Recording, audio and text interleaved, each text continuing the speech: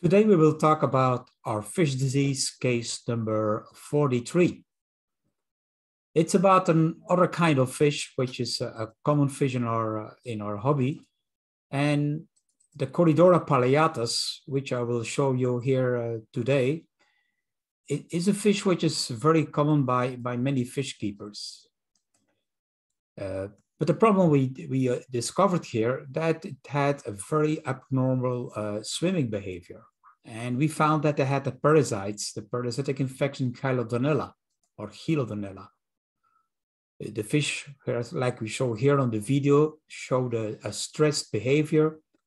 Some were getting very dark and very skinny. Uh, they were hanging at the surface. You can see it here. Uh, I'll show you the next video. Here you, see him hang at the surface. You see the like a bleeding reddish gill. And, and you see them, they're suffering of, of, of respiration distress. And we had mortalities. Every day, a very few. And after a couple of days, the mortalities were going in, in, in higher quantities.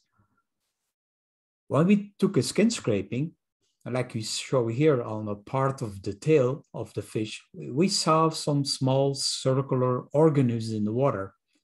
Well, this is the microscopic photo of Chilodonella. And of the same thing, we also found in the gills. You see them here sitting next to the gill tissue. Of course, with a microscope or video, we have a better a view of those parasites which are moving around. And of course, the parasites are easy detectable when they move around. And you can distinguish from other uh, tissues from the fish. You see here the large quantity of Chilodonella, which are all around the gill. And as you can see, those kind of organisms, they damage the gill tissue. They cause uh, a risk of poor respiration difficult absorption of the oxygen, a poor release of the, gases, even ammonia gases, which are not released from the gill. So the fish eventually will suffer badly. And then also secondary bacterial infections can occur. So luckily, this is an easy case to detect when you use a microscope. Then you know exactly that you're dealing here with a, a parasitic infection. And this was already an advanced case. You can see that quite some of the parts of the gill tissue are completely covered with those parasites. And those are permanently scraping and damaging on the gill, uh, the gill uh, cells or the gill lamellae in this case, and, and causing a risk of secondary bacterial infections. So our conclusions here was that we had to deal with a paras parasitic infection called Chilodonella, that weakened the fish, damaged the fish, and a big risk of bacterial infections. So again, always check your water quality and avoid overcrowding because that would give a better proliferation of the parasites. Add medications like FMC, that is the formalin malachite green mixture, which I describe in my books, or Faunamor from Aquarium Munster, or other anti-parasitic treatment.